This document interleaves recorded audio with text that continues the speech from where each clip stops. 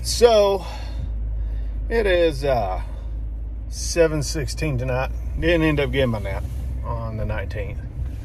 Um, but that's the way it goes. Um, so thankfully last night slept really, really good. Um, I was able to get up early and just handle a bunch of the crap with this uh, camper. Should have been fixed, is not fixed. Uh, anyways, we got a lot of stuff done today. So I am uh, driving to work. I'm going to be uh, going on duty, going to Belen, New Mexico tonight. Um, it's uh, 346 miles, so it is a long one. Uh, looks like right now, uh, going to be on a stack train. And stack train, for those of you that don't know, is just that.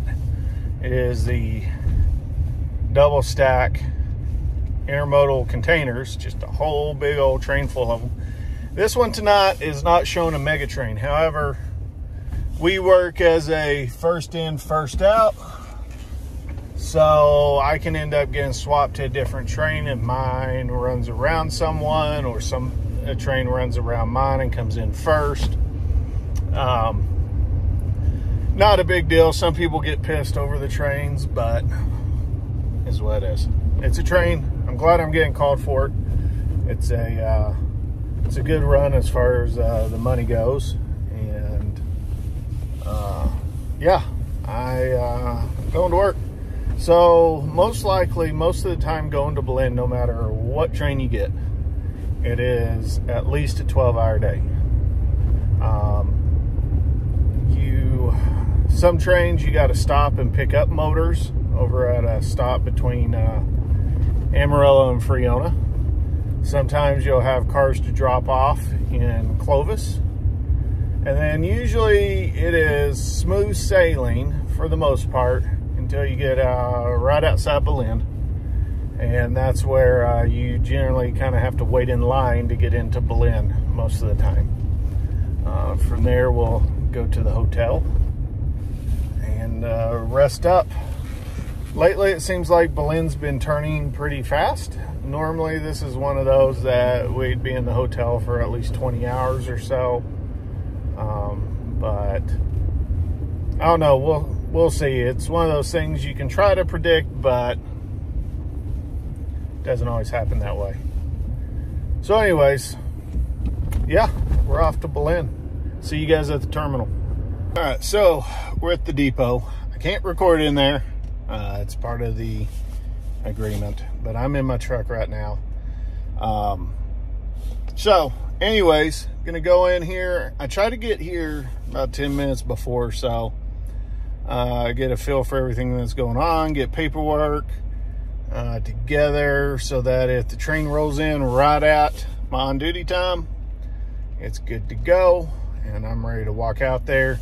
And that way, the inbound crew doesn't have to wait for us. And because by the time you get done, you're ready to get off the train. So it's kind of scratching your brother's sister's back. I mean, it's 10 minutes of my time. So what? I'm to get up here. So if it rolls in right then or even a little bit early, I can jump on it. Those guys can tie up and shag ass out of here. So what I do once I get here, I take my stuff in.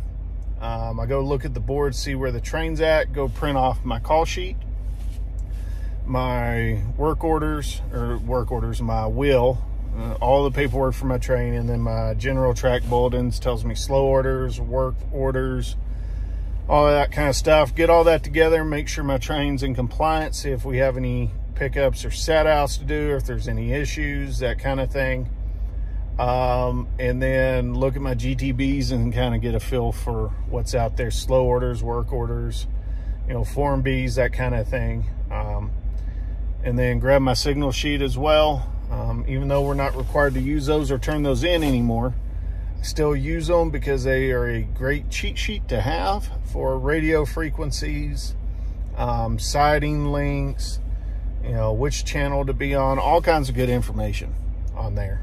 And, uh, you know, of course, if PTC goes out, you really want to have one of those. So You're not having to do everything by hand on, uh, you know, keeping track of signals. What's next? Is it intermediate? Is it an absolute? Um, things that can make a difference between getting in a big wreck and going home safely. So always be prepared. We'll talk more once I get to Belen or who knows, we might have a chance to chat a little bit uh, on the way there if we end up stopping. So we'll find out. See you guys soon. So it's about 3.20 in the morning. We are now off our train, tied down. We went about 268 miles out of 346. And, and yeah, we're on another train to finish out the rest of the trip.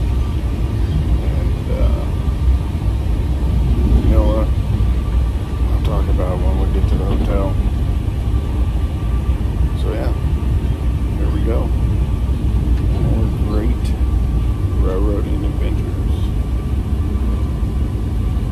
Things that make you go, what the hell?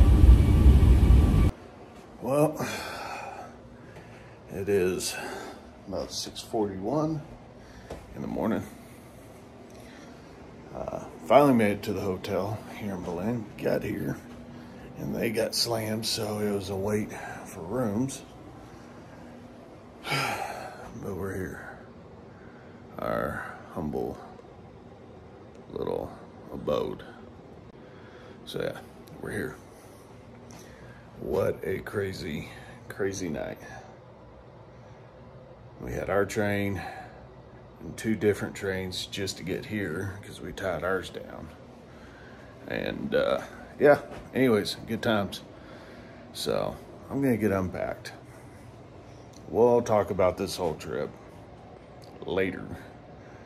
Um, maybe when I wake up. But right now, worn out. I need sleep.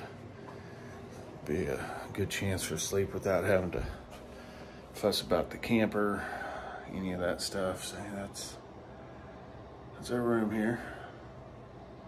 Not bad, not too shabby. Definitely been in worse, been in better, but yeah, for the most part, the crew here at this hotel where we stay at seems to do do pretty good. I don't have any complaints. So, anyways, I'm gonna get unpacked, shower, hit the rack. I'll see you guys in a few hours. All right, so it is 5 p.m. Mountain Time on uh, November 20th. I'm at the Away From Home Terminal here in Belen. Uh, looks like I may be getting called out um, uh, hopefully in a few hours. Yesterday was one of those long days. Left Amarillo on a stack train. Um, went 260 something miles, told we needed to tie our train down in a siding, so we did. We jumped on another train, which was a key train, with the deadhead crew we had with us from leaving Amarillo.